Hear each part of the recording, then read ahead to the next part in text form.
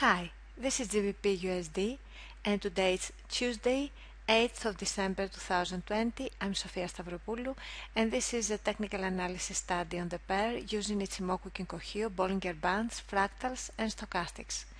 On the monthly time frame we see that there is no evidence that the price uh, can be kept down anymore.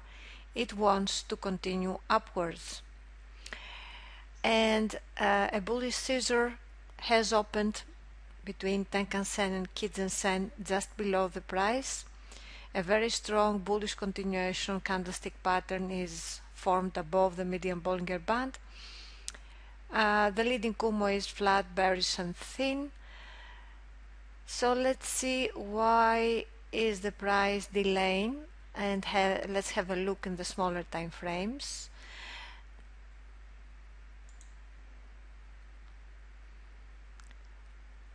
On weekly, we see that the reason for this delay is the very thick leading Kumo, which can be lifted up in the air.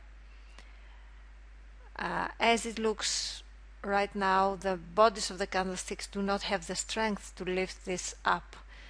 We don't see evidence of a breakout on weekly right now. So I will place the first possible, the price will make a corrective downward move um, to make the leading Kumo thinner so it can be lifted easily.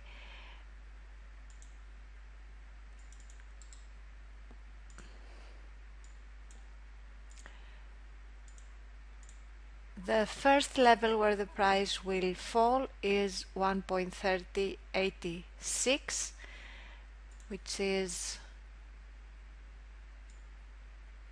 270 pips lower. And represents the top of the bearish Kumo on daily. So I will stop here for now regarding the sell scenario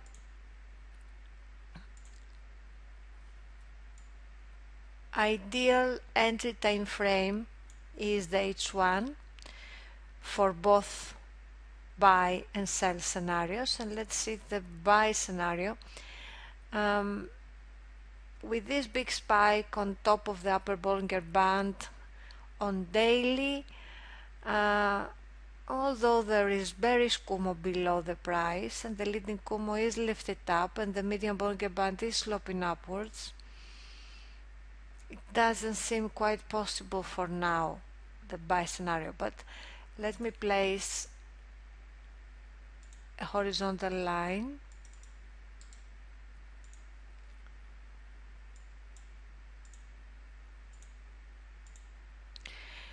So the first level the price will the price will reach on its way up will be 1.3543 which is 200 pips higher. Uh, the next one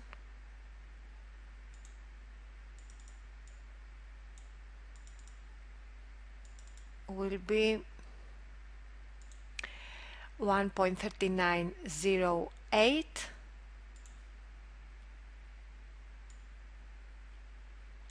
500 plus pips so yes, the critical time frame is H1 uh, for both buy and sell scenarios. Uh, the entry time frame can be H1 and the critical one is the daily.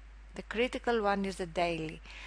Um, price uh, will convince us that it wants to continue higher if a bullish candlestick, the body of the bullish candlestick closes above the spike of the most recent highest up fractal, the next one is bullish, while Tenkan-Sen, the red line of Ichimoku is sloping upwards and the leading Kumo is sloping upwards.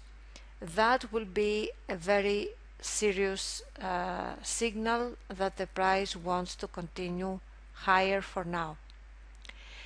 Thanks for watching and happy pips.